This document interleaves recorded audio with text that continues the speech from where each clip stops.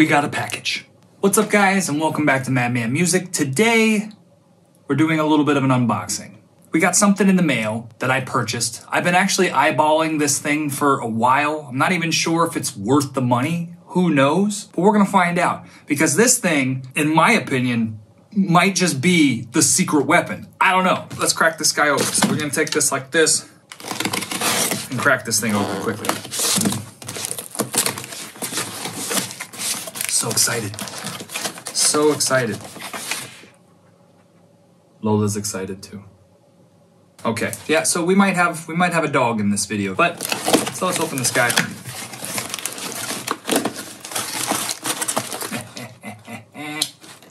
For safety purposes, you gotta close that. Poop, what is it? The little black box. It's a little tiny black box.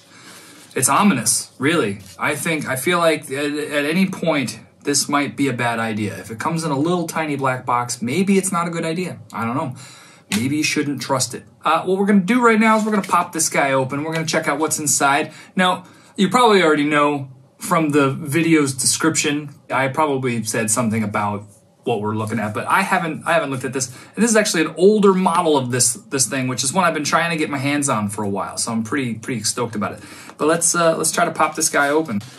All right. Oh, oh, here we go. Can we see it? Let's check this out. Boom. I don't have a clue how you say this. Moor? Mower? Moor? Mower? I don't know. Moorer? Moorer. Moor. I feel like it says moor. I feel like it says moor. I don't know.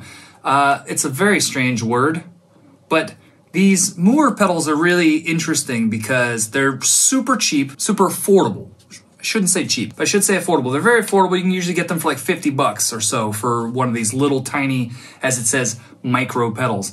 Uh, a couple of years ago, when these guys started popping out the micro pedal thing, they weren't the first because there's been plenty of pedal companies popping out micro pedals all over the place. But they certainly were very successful and influential enough that after they started doing it, basically everybody has a micro pedal of some sort now. There's the mini Ibanez tube screamers. There's even like small power supplies that are the size of some of these micro pedals. There's a lot of really small stuff, which is really exciting because, I mean, I love tiny gear. I love not, I love gear that is compact and portable enough that you can take it really easily somewhere. Now, you are sacrificing size for possibly quality and things of that nature. So it's good to experiment with this stuff and see what we can come up with. What can we take advantage of? What can we improve upon? How can we make something sound better? Which is exactly why I got this pedal. And what this pedal is, let's take this off. I'm really excited about this. Oh my God. This is the Mooer 005. And it's a little preamp pedal. It's a little dusty. You can see it wasn't wiped off before the guy sent it to me. This is a little preamp pedal. It's basically, this is basically an EVH in a pedal. Now, we've done another video like that before, where we talked about the MXR, right? The MXR EVH 5150 Overdrive, which I still want to do a lot more videos on because I think there's a lot of really interesting ways to use that, either in recording or making like a nice live rig that's really small. I want to get into some really portable rig stuff. I want to do videos about rigs soon. But I feel like no small rig video series is really complete without trying this little guy out, right? So they had some branding issues. You can see here that it's even got like the EVH stripes, you know? It's supposed to be like the white, the ivory EVH, you know? So it's essentially trying to be that. And I have I have never played one of these before, so I have no idea what it sounds like. Uh, but we're definitely going to try this out. We're going to mix it up with some stuff. It's actually got a channel. You can change the channel. And it's also got a cab IR built into it. Which, of course, as we know, I just released the Nasty Cab IR. I will definitely be trying this mixed along with the Nasty Cab IR. That's just, I mean, you, duh. That's all we got to say about that. So we're going to go ahead and take this guy and we're going to get it plugged up and we're going to see what it sounds like.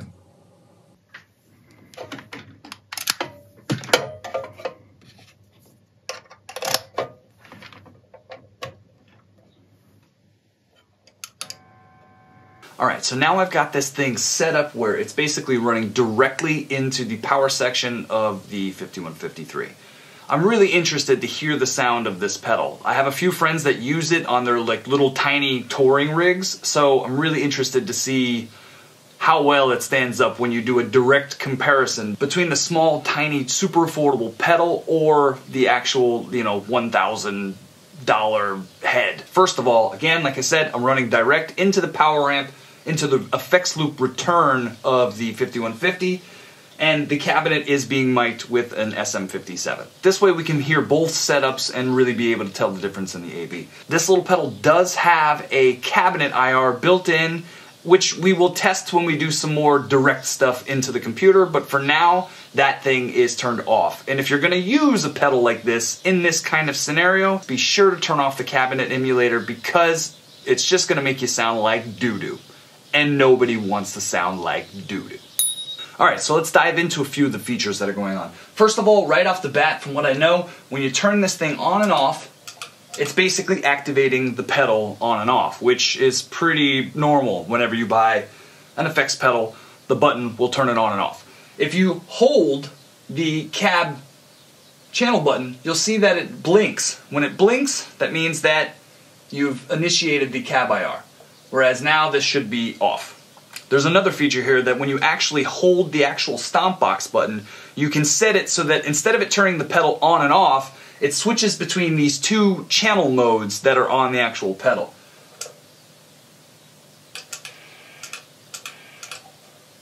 Which is way more useful than just turning off the pedal entirely. So in this way, you're using it more like a foot switch for a real amp, which is kind of cool.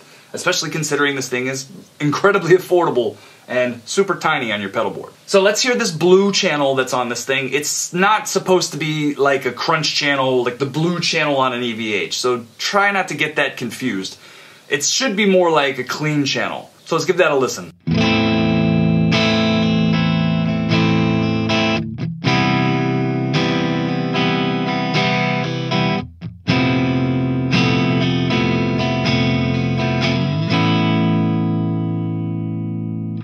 Think that sounds actually pretty good for, you know, a clean channel. But let's face it, you wouldn't buy this thing because of the clean channel. You're buying it because it's emulating the overdrive channel of a 5150. So let's crank this guy up and hear what it really sounds like.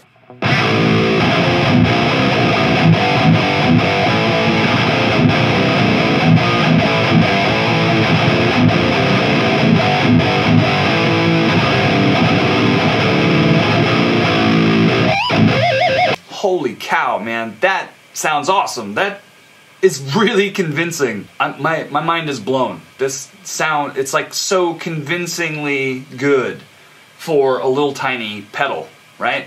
I mean, you might expect this if you were playing, say, the MXR 5150 overdrive pedal, which I'll link up above, but it this thing for this little tiny pedal for this little tiny box sounds awesome. Holy cow, dude. Wow.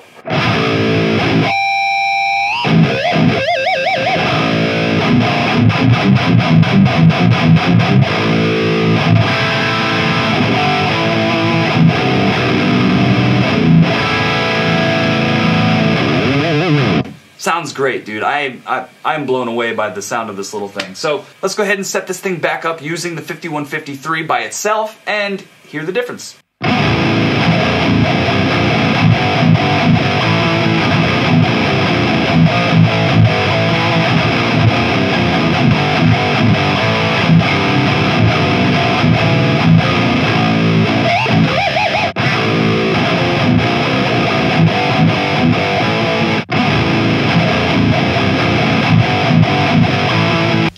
Convincingly good.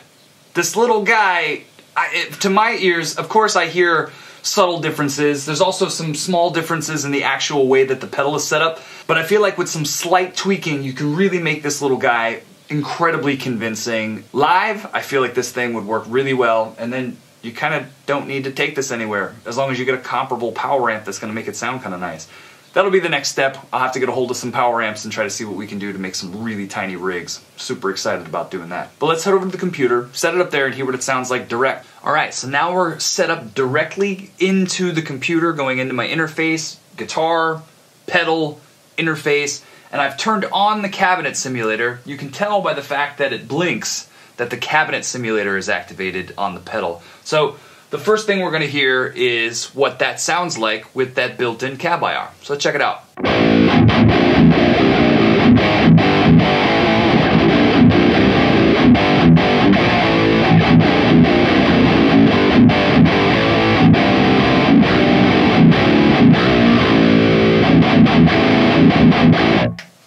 So in my opinion, the cab IR that's built in isn't the greatest sounding cab IR in the world. Will it make do? Of course. But the thing of it is, is that it, it's kind of muddy. Now we can probably go through and change some settings. Again, I've got this thing set up to match the settings that are on my EVH. But let's go ahead and see what happens when I tweak the, the presence a little bit because that does sound a little dark.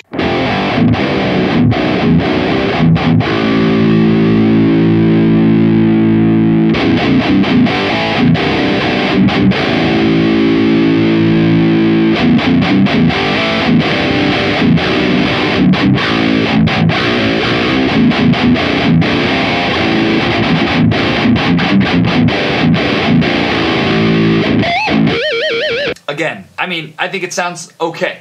Doesn't sound as great as when it was running through the rig through a real power amp, but it's a little dark, but once you pump up the highs a little bit, it starts to sound a little bit better.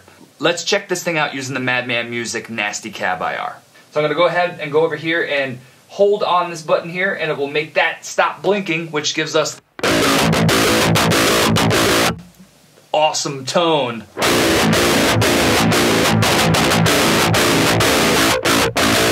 But let's go ahead and make sure that we are set up on the right cabinet. I am running Lancaster Audio's Pulse. I've talked about it in many videos. This is a free IR loader, lancasteraudio.com. Just download it, Pulse, it's free, get it, it's awesome.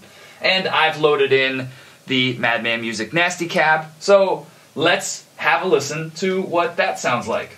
I've set the parameters back to just about where they were when I had it on my main rig, so let's give it a try. This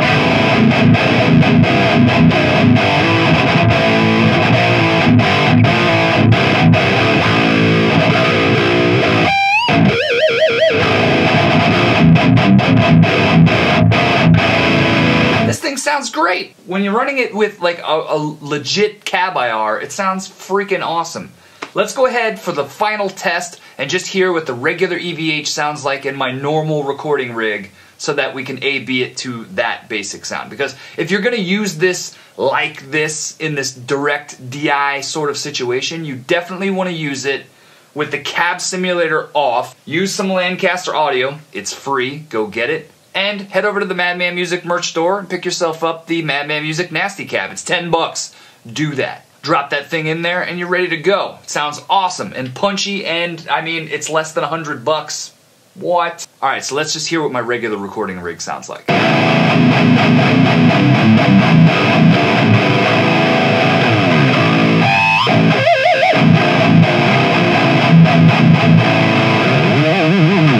And as usual, let's jam this thing out and hear what it sounds like in a mix.